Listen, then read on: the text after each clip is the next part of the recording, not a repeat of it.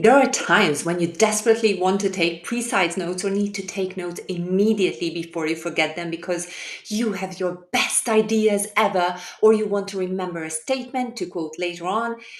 But let's say you only have your phone with you or you don't have anything. If you ever felt an increasing tension because you couldn't use your keyboard for a while, then think again. My mind has always been too quick for my handwriting, so for some time now, except for journaling and mind mapping, I've been glued to my keyboard and typed, typed my endless notes. In this video, I'll not only show you how you can capture notes nicely even if you can't or don't want to type, but also show you a pro way how you can structure your notes neatly and effectively with the power of AI in a matter of seconds.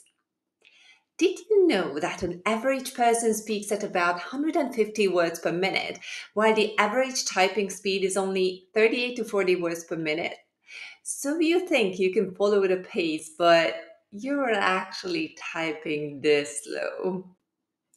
If you want to be your quickest and even remember what you took note of, you might not want to type long notes anyways. I can simply record my voice while talking to my phone like this and save it directly to my OneNote notebook. I'll go to my OneNote on my phone and on a new page or an existing page, I just push this plus button and select audio recording and I can immediately start speaking. I can do the same on my iPad.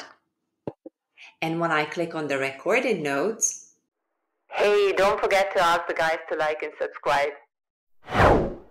This one will only work on your desktop. OneNote's built-in functionality allows us to talk and have the text captured immediately. It's not a completely new thing. Dictation has been here for a while now.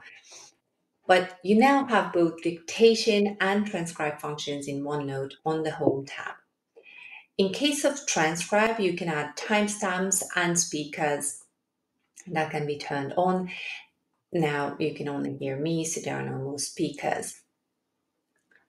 This can work amazing with shorter, max a few minutes long note. I'd suggest another method for longer discussions. For example, though. taking notes from a longer meeting or lectures that will take off so much burden of your shoulder. Nowadays, I listen to a lot of tutorials while driving and I simply can't take notes while I'm driving. So I like right? to do this and fine tune notes slightly if I want to. You can start with recording your meeting and then download the video and use the transcribe function. I don't recommend uploading bigger size files to transcribe in OneNote though, because the notebook size there will only keep increasing with time. You can't just delete stuff from OneNote forever. I suggest doing the transcription by uploading the file to Microsoft Word instead, either the online or the desktop app. 300 megabytes is the upload limit for both apps. So if your video is longer than that, and that can be easily the case in case of MP4 videos, what I usually do, I first convert these into MP3 files. I simply go to this free online converter, freeconvert.com, Here's the upload limit is one gigabyte. That's still not perfect, but can be enough for a lot of things. Now let me convert this MP4 to MP3. Once I'm done, you can see it reduced the size significantly. Now I can upload this MP3 to my Word go to Home tab and under Dictate, you will find Transcribe here. You can see that I'm not limited to English, so it's great. Select Upload Audio.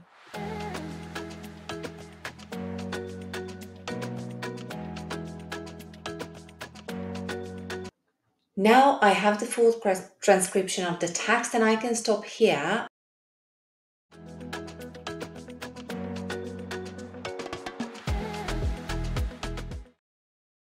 but I rather go to ChatGPT now. And even in the free version, I can type the following prompt to get the essence neatly summarized. The paid version obviously gives a nicer result. Hi ChatGPT, please summarize the main concepts covered in the inserted text, list the key points or insights emphasized throughout the text, outline actionable steps or strategies recommended in the text, provide any relevant case studies or examples discussed in the text. I'll copy the text as a follow-up prompt. Here I need you to understand the instructions. And then ChatGPT confirms that it understood. Please bear in mind that if your text is too long, try and chop it into more 2000 word ish batches, telling ChatGPT first that you'll have several batches in the pipeline and it should summarize only when you confirm that you have uploaded the last batch too.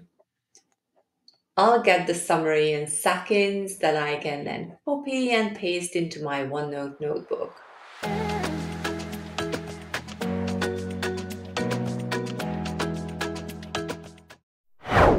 And when I want to share this note with my friends or colleagues in an email, I can do that in a super simple way that I explain here.